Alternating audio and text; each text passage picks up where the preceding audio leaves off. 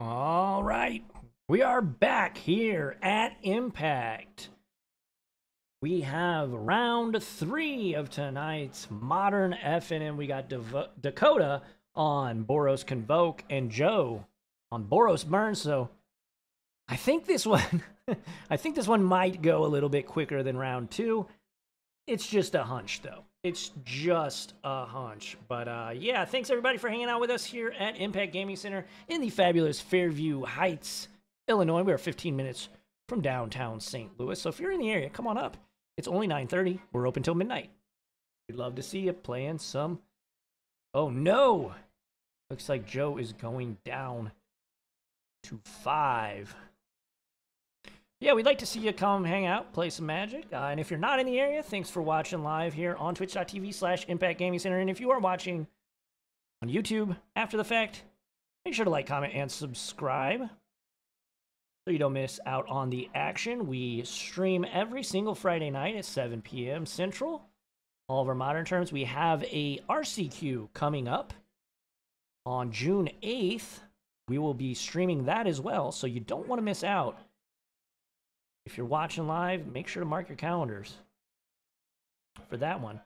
But this one should be a pretty quick one. We got Joe on Burn and Dakota on Convoke. Like I said, it's gonna be a it's gonna be a quick one. I can uh, almost guarantee it. All right, we're good to go. Joe's looking over at the door where I'm at, and I told him if you don't see me, just start. So here's a Thraben Inspector. He's gonna get get a clue. Generate a clue token. Yeah, thanks everybody for hanging out. We've had an amazing night here already at Impact Gaming Center. We've seen a ton of awesome Magic the Gathering being played already. We wanted to get some other folks on camera that haven't been on camera, get the community involved a little bit more, which is why we've got uh, Joe and Dakota. Usually, you know, we try to keep the folks that are undefeated on, but we're going to switch it up. Joe rocking that really sick, and I, I complimented him already, and I'm pretty sure he's going to watch this after the fact. Pretty sick uh, Final Fantasy Rebirth hat, that trucker hat. It's pretty sick. So we have Gleeful Demolition here. You gotta make some tokens, and then a Convoke. The big old Loxodon, I'm gonna put plus one counters on all the duders. So Dakota doing exactly what Dakota wants to do. Bolt gonna come off suspend and bolt your face down to 17. Go or 15 rather goes Dakota. Ah, yeah, he's been he's been hurting himself off that canopy land. There's a Woody Footy, Woody Footland inbound. Wooded Foothills inbound. Down to 12 goes Dakota. We have ourselves a race, folks.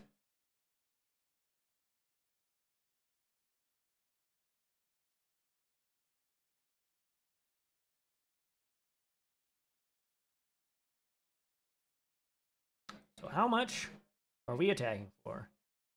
I'm gonna let him do math. One, two, three, four, five, six, seven, eight, nine, ten, eleven, twelve, thirteen.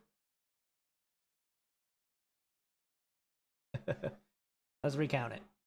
Four, five, six, seven, eight, nine, ten. Oh, I don't know what this card is up top. Oh my gosh. Joe's at one. What? What card is that? I'm gonna have to go out there after game one. Yeah. Joe's gonna pack it up. That's gonna be a quick one. Game number one goes to Dakota. That was fast. Blistering. I told you. I wasn't lying. I'm gonna go check and see what the heck card that was real quick.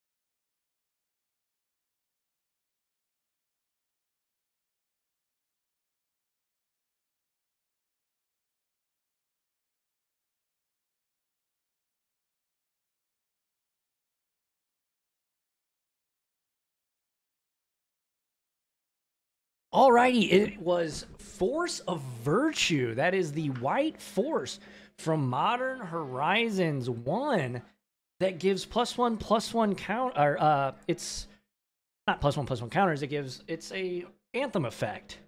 But yeah, holy smokes. That was so fast. That's why he exiled the inspector there. So yeah. I wasn't lying to y'all. I knew this one was gonna be fast, whichever way it broke.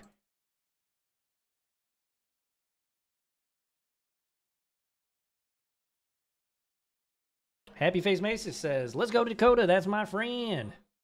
So we have we have some fans for Dakota in chat. Let me know, folks, who are you all rooting for? You want Burn or Convoke? If you don't know the competitors personally, you might have a, you know, have a deck that you want to see win.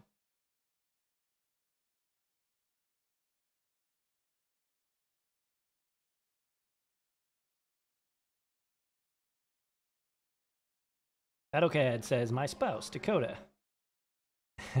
well, yeah, I, I guess you'd be rooting for your spouse. That makes sense.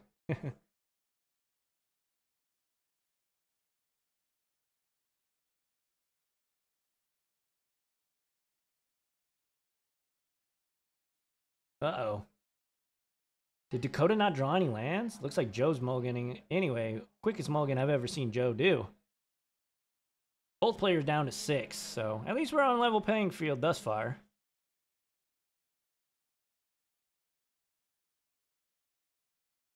Get some hype in chat.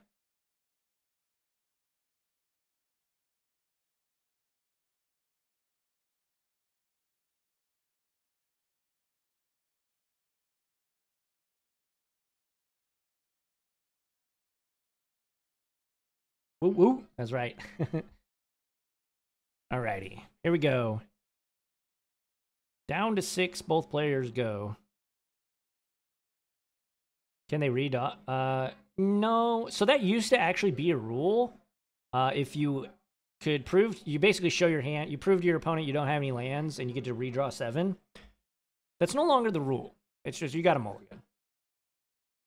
Joe gonna keep six, gonna put one back. Regardless, though, you to clarify, you do draw seven. You just have to put back cards equal to the amount of times that you've mulliganed. So if you've mulliganed two times, as Dakota's about to do, if he likes his hand here, he will have to put back two cards. So the London Mulligan is what it's called. It's a really good mulligan rule, I think. I think more games should adopt it.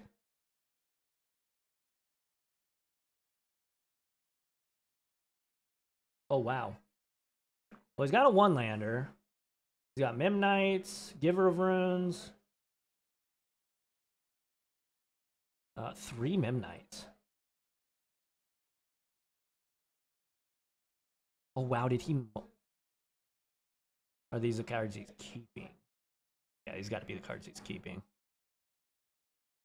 So he's going to put back Arid Mesa and Memnite? Makes sense, I suppose. So many Memnites. So yeah, put back Memnites in an Arid Mesa.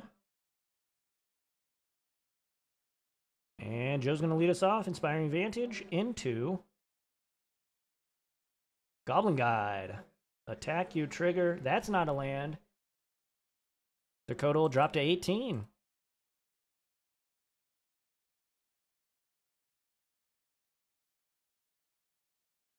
Arid Mesa, Gonna drop Dakota down to 17. And he will fetch Shock, which takes him to 15. The two off of the Shock land entering the battlefield. We'll see which Shock land it is. Of course it is. Sacred Foundry. Almost forgot the name of the card. Alrighty. And here is Novice Inspector. That'll make a clue token. Memnite. Memnite. Memnite. Joe cracks a smile. Back to Joe. So now Joe really doesn't have a good attack. Because Dakota would be able to double block if he chooses, or just single block and soak up some damage. There's Mentor, and there's Mentor number two. Yeah, we're getting in there. We didn't play Burn not to turn dude sideways. Venerated Loxodon the reveal. Let's see how Dakota wants to deal with these blocks, if at all. This is currently four damage coming across. So looks like he'll just take it and drop to 11, although the players haven't shown that. And it Loxodon, going to come down, put plus one counters on all these little critters. And is a 4-4 himself, so he is a big old blocker. So if Joe wants to attack past this, he's going to have to get pretty tricky. He does have a Searing Blaze in hand, though. So that's good. Sacred Foundry comes in, untaps, so Joe drops to 18.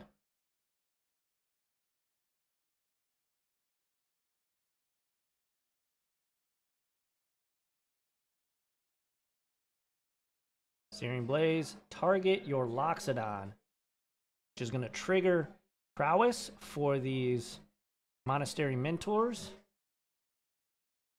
And he's going to finish it off. Lava Spike. Oh, maybe not. So uh, he's putting Dakota in a position here to where he's going to make him not want to block. He'll attack. These Swiftspears are three power creatures right now, three twos. And we will move to game number three. Joe taking down game two here. So we have what I like to call the best two words in competitive magic if you're broadcasting it. Game number, or well, best two words, I guess. Game three. but here we go. Both players just gonna stick to their guns here. No sideboard shenanigans. No faking out the opponent. Just going to keep the same configuration of decks.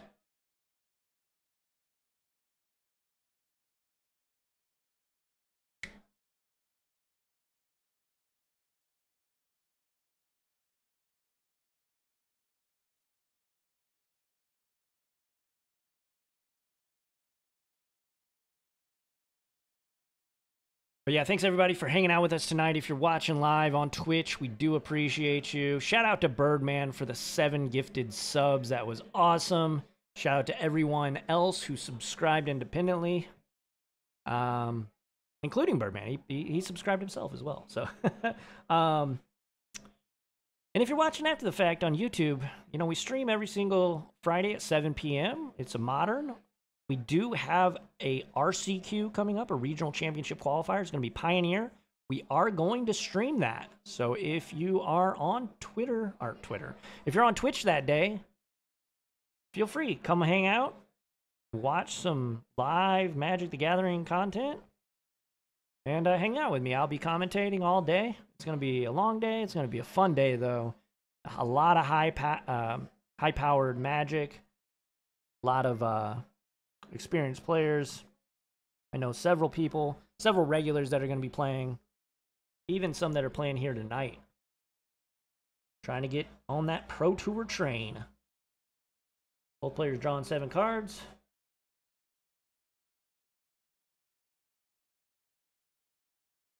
Uh, Dakota on a mulligan, I suppose. I didn't see that. But uh, he will get us started here with an Arid Mesa. He'll crack that Arid Mesa, drop to 19. Would probably go to 17, I would imagine. Yeah. And we will likely have a creature inbound.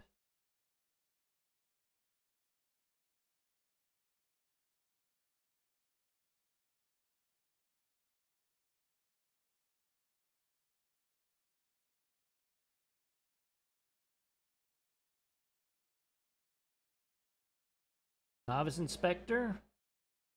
Gonna trigger a clue. Memnite. Memnite. Go. Joe gonna draw. I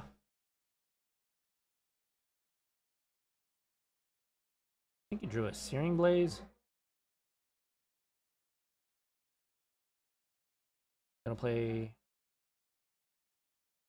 But Sunbaked Canyon, I believe is the name of that card. And we're to attack.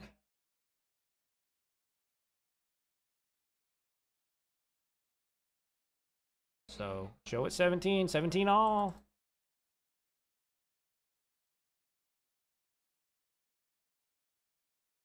Joe drew a mountain, I believe. And here comes Eidolon of the Great Revel. Gonna crack a clue, draw a card. Kuldotha Rebirth, the pickup for Dakota. That is Gleeful Demolition, essentially, except it can only target your artifacts. Effectively, though, the same thing. He can attack here and cast that. He does have a Bushwhacker, so he could kick this Bushwhacker, give all his creatures haste, and plus one, plus zero. So Dakota's got some options here, but first he's going to crack his fetch land, go to 16 for the time being, grab a mountain, so stay at 16. This feels like a Bushwhacker kicked.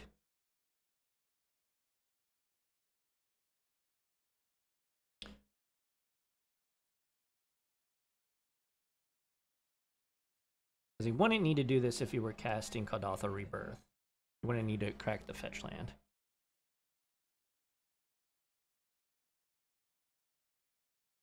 Or maybe both.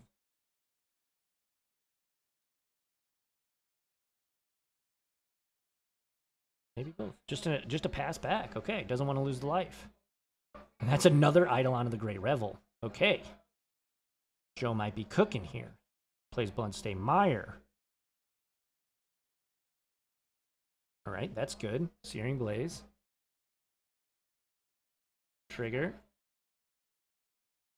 So Joe's going to drop to 15 on his own Eidolon trigger. Take the uh, Inspector Gadget down, or the Inspector Novice. Dakota drops to 13 thanks to the creature dying. And then Reveler going to get in there for two. Drop Dakota down to 11. Pass back. Dakota takes a draw step. He drew I don't know what the name of that card is. If he plays it, we'll zoom in. For sure. We're, we're, we're zooming here if he plays this. I think it's two mana, so he will take two damage off of the Eidolon trigger. Joe's got his pin ready. He's going to take a point off of the Sunbaked Canyon as well, so that'll drop him to 10. And then 8 off of the trigger from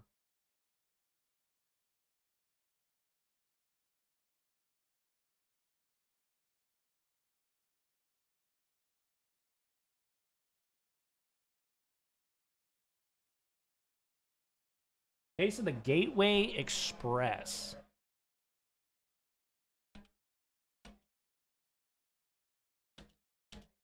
There's Bushwhacker kicked. Case, case of the Gateway Express, when it enters the battlefield, choose target creature you don't control. Each creature you don't control deals one dam. Each creature you control deals one damage to that creature. And then to solve, three or more creatures attack this turn. And then solved, creatures you control get plus one, plus zero. To solve this, you have to be on the following turn.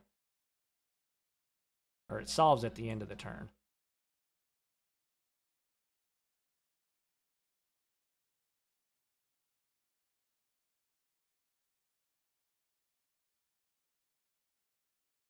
So that's one way to get rid of an Eidolon.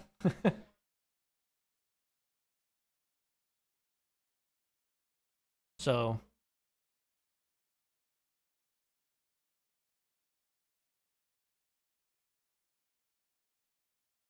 down to seven goes Joe. Something got rid of that case. Did I miss something? Chat, did I miss something? I think I had to have. I think I had to have while I was reading the case. While I was reading what the case did, we lost what happened to the case. It's a curious case. Into the turn. Searing Blaze, your Bushwhacker. So that'll deal three damage. Down to five. Joe at seven. Not a lot, but certainly not a little. And this is good for Joe. Him, Dakota cracking the canyon is, is certainly a good sign. We've got Bushwhacker and Kuldotha Rebirth. If he kicks the Bushwhacker here, that'll be two, four, six, taking him to one. Can oh well, Joe wouldn't be able to activate his Sunbaked Canyon. Ooh, Dakota dropping to four. That's dangerous because Boros Charm gets him here. Although if he can take him to one, Joe won't be able to activate that Sunbaked Canyon.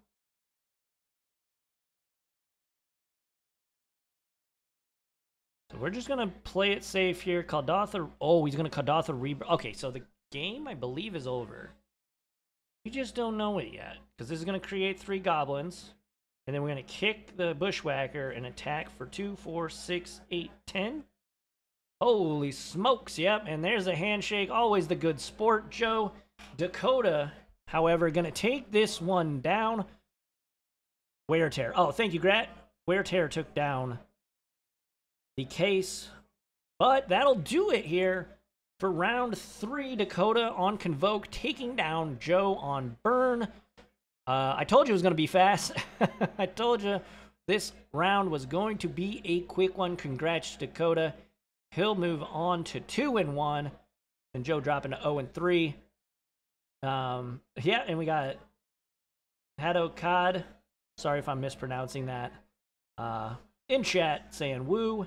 Yay, Dakota. So, shout out, Dakota. You got some fans in chat if you're watching this after the fact. But Thanks everybody for watching. We're not quite done yet. I will let you know if there has been a pair down or anything like that.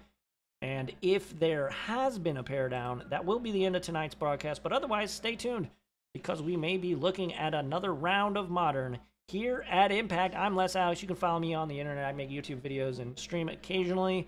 So go check me out. I make Magic the Gathering content. And I'm on Twitter. Otherwise, though, follow Impact Gaming Center on all of our social media channels. We've got Facebook, Instagram, Twitter, YouTube, Twitch, and TikTok.